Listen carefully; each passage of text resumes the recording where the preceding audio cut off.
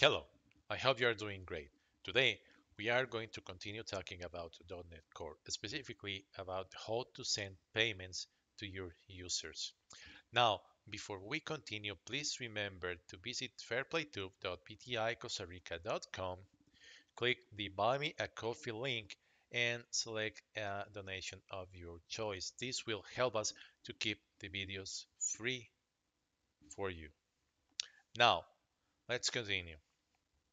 So, as you know, one of the features that we are going to have in FairPlay 2 is allowing users to apply to video jobs.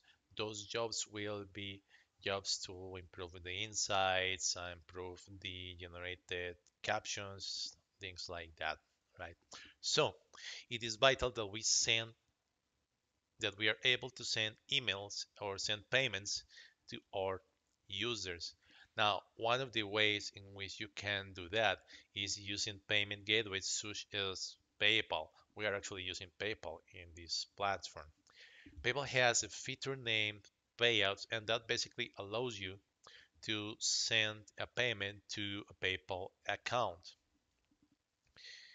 So, how do we do it? Now, we have here the code. As you know, Fairplay 2 makes use of a custom library that we have designed in PTI to optimize or to speed up the development of certain services. We also have that library uh, creating having some service to speed up the development of um, PayPal API requests. So you see that here we have the payout controller. Payout controller, basically we are going to send a payment, right? We are going to send a payment related to a video job, right? So send video job payment. And this one should not be named like this. This is the endpoint, so it must not have Async in this case. Uh, so we get the video job. Remember that the structure that we have is we have a video job, we have video jobs applications, right?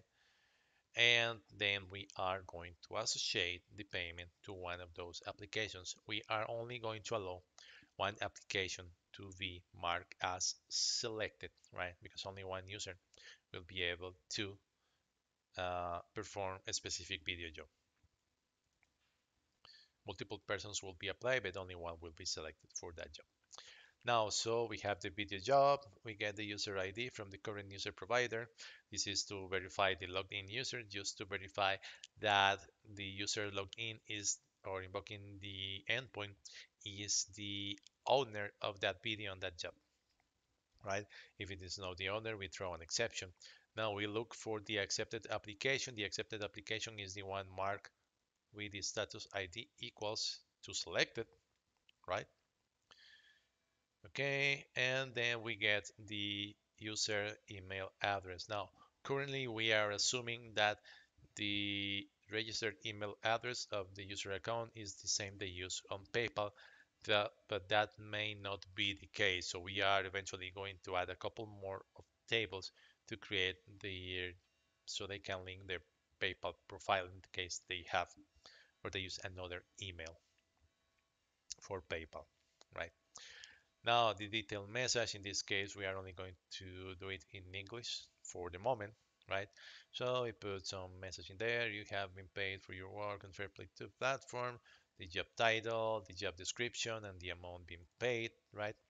Then we do this create payout request. This payout request is a class that we have created in our PayPal service library.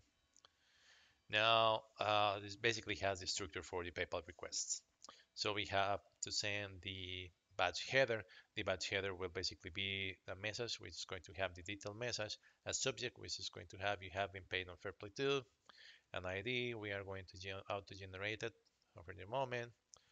We are going to pay in dollars. We set the value with um,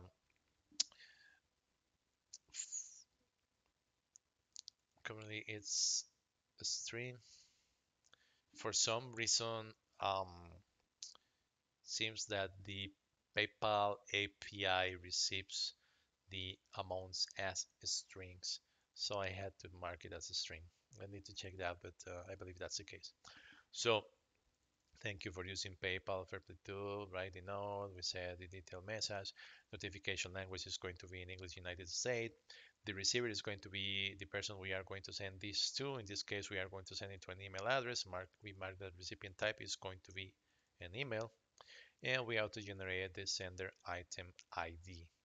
Now, then we connect or we get the access token for the PayPal um, for PayPal API. We invoke the create batch payout um, API endpoint for bets for PayPal, and we create the batch. The batch is basically a set of payouts, right? So you see this is an email that's going to be sent to multiple persons and each item is going to have the payment configuration for that specific person. In this case, we are only going to send it to one person, so it's only going to be a batch of one item. Now we create this. These are the structures of the data we are going to save into the database.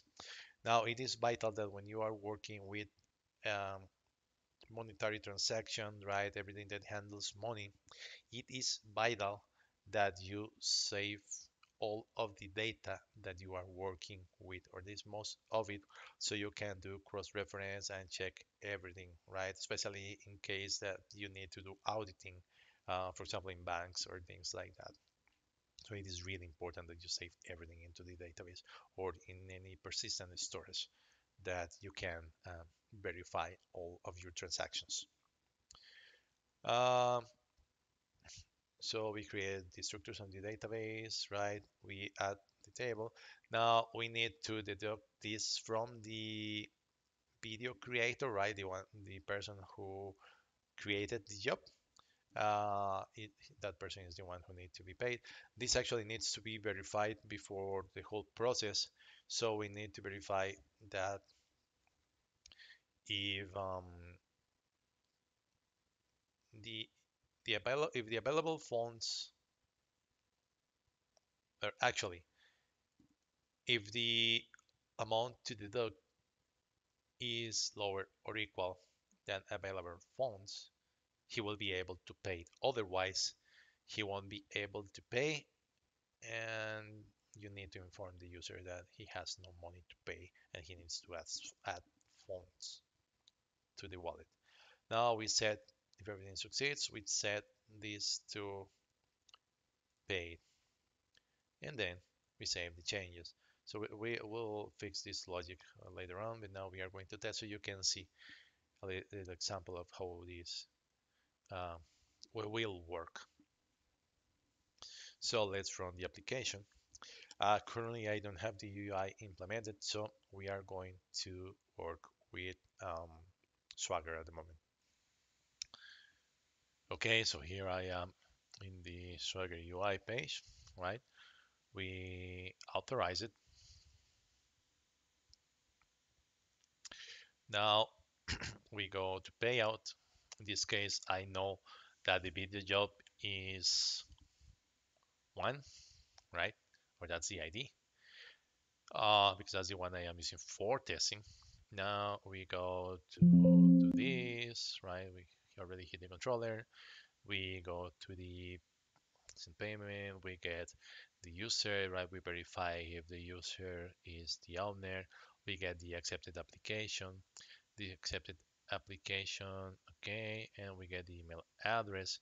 Now the email address I need to change it, right? So you so it uses my um, PayPal sandbox. Now you will see that in here in recent activity I will have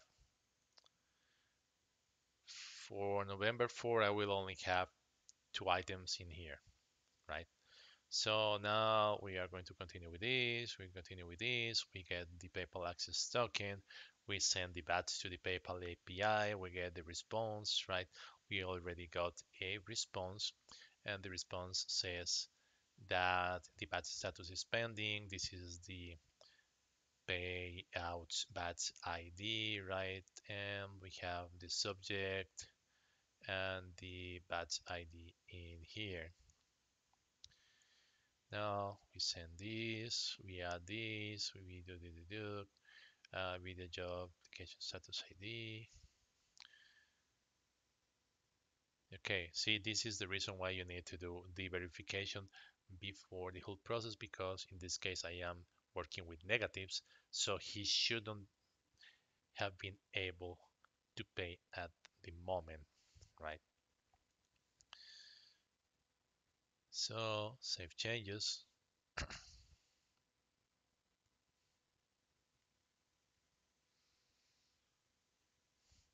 and you will see that if I refresh this, I should have a new uh, a new one in here. And now it says payment received. You have been paid for your work on FairPlayTube platform, specifically on the video title, test video 909, uh, job title, enhanced video transcription job. Now, if I click that, you will see that this is the the information for the PayPal sandbox. I added the note in here just uh, so you can so the person can actually see it in here.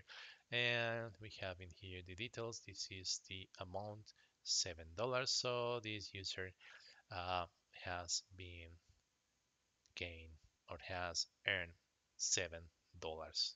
This is the sandbox, of course, right? This is for testing, but that's the idea once this um, work is actually finished. So I hope this has been useful for you. Uh, remember that FairPlayTube is an open source, or it has actually an open source open source version that you can check, and the code is actually on GitHub. Thank you very much, and have a great day. And also, please remember to use the Buy Me a Coffee icon to help us keep the videos and projects free for you. Have a great day.